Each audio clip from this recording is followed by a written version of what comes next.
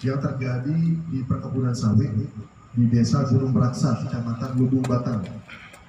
Jadi eh, korban atas nama Zulkifli alias Ujang Dawer bin Sulaiman yang bersangkutan eh, awalnya dilaporkan menghilang pada hari Kamis tanggal 3 Maret dan kemudian pada hari Sabtu tanggal 5 Maret sekitar pukul 10 ditemukan dalam keadaan meninggal dunia.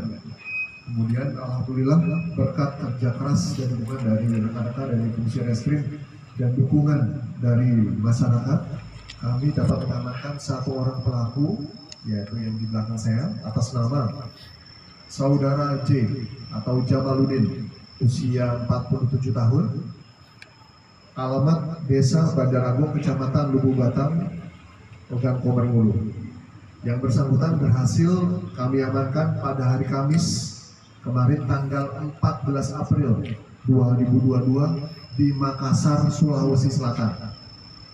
Jadi perlu saya sampaikan kepada rekan-rekan bahwa saudara J merupakan residivis, yaitu sudah pernah menjalani beberapa hukuman. Antara lain pada tahun 2001 yang bersangkutan pernah menjalani hukuman terkait dengan tindak pidana penganiayaan. Berikutnya pada tahun 2005 yang bersangkutan pernah menjalani hukuman terkait dengan tindak pidana laka lantas dan pada tahun 2014 pernah menjalani hukuman terkait dengan pencurian dengan kekerasan.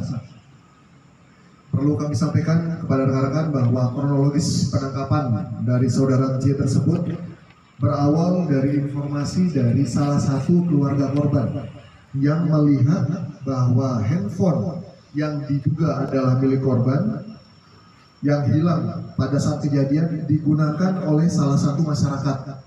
Kemudian setelah kita mendapati informasi tersebut, kita langsung laksanakan pengecekan kebenaran informasi tersebut dan ternyata benar bahwa handphone tersebut adalah milik dari almarhum. Kami melaksanakan kegiatan penyelidikan yang mendalam terhadap asal muasal HP tersebut dan kemudian kita ketahui bahwa HP tersebut sudah berpindah tangan beberapa kali. Nah, kami berupaya untuk mengidentifikasi siapa uh, tangan pertama yang membawa HP tersebut. Nah itu dari informasi tersebut Raja adalah uh, orang pertama yang memegang, yang memegang HP tersebut.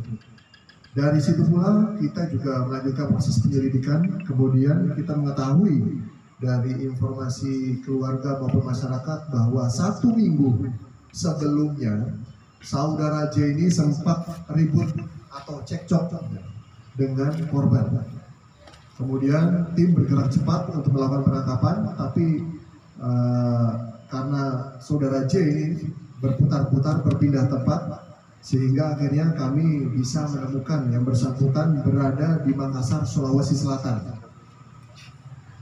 Kemudian perlu kami sampaikan kembali terkait dengan modus operandinya bahwa menurut keterangan dari pelaku atau saudara J ini Saudara J terpaksa melakukan pembunuhan terhadap korban karena sudah merasa kesal sekali kepada korban. Sekitar bulan Januari 2022, korban pernah berhutang kepada saudara J sejumlah 5 juta rupiah.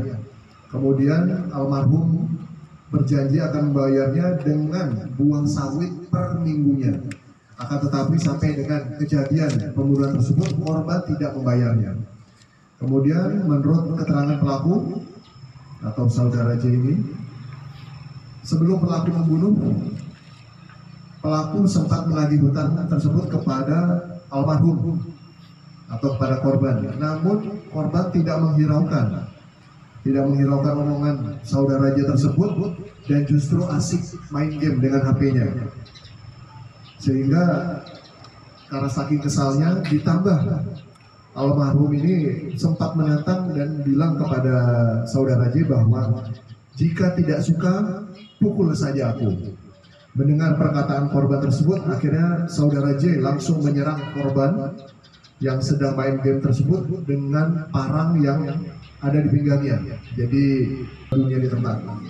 Adapun barang bukti yang berhasil kami amankan, yang pertama adalah satu unit HP merek Vivo Y15 warna biru ini adalah milik korban kemudian satu unit motor Revo ini adalah milik pelaku di sebelah kanan saya Kemudian satu buah parang bergagang kayu putih, ini adalah milik pelaku.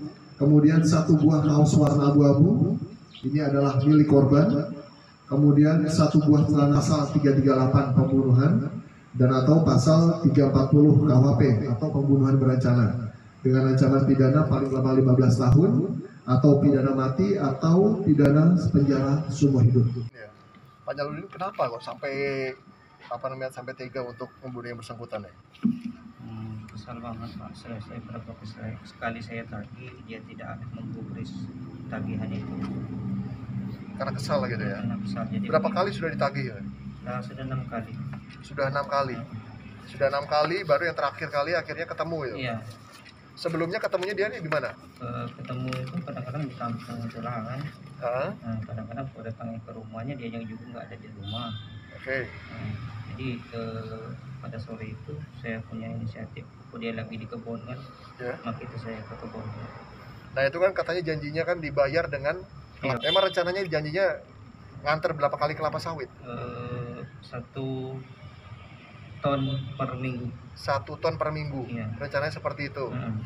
Udah sudah dikasih berapa kali? Saya itu kasih dua kali, pertama kali tiga kintal, dua kali tiga kintal, jadi baru lima kintal pak. Baru tiga kintal. Lima kintal. Lima kintal ya. Lima kintal. Masih kekurangan? Masih yang berapa itu? Masih banyak gitu ya. Heeh. Kemudian waktu pakai kendaraan apa waktu itu? Saya pakai anu bis pak, Bis. prima Alurnya dari mana? Dari eh, simpang Tran Batu Marta. Saya naik motor, Ah, terus ya, sampai di situ saya jual motor saya eh, langsung naik bis dari sana naik bus ke ke Bakahuni. ke Bakahuni. Ya. Kemudian dari Bakahuni lanjut ke Ke eh, bandara pakai taksi Bluebird. pakai Tara di Lampung atau bandara di Jakarta? Bandara di Jakarta. Bandara di Jakarta. Kemudian dari situ naik pesawat. Eh, naik naik pesawat Lion arah ke Makassar. Nah, di sana ada siapa? Enggak ada siapa-siapa pak, cuma di sana masih ada posko karena saya pernah kerja di situ kan Pernah kerja di Makassar? Heeh. Tahun berapa?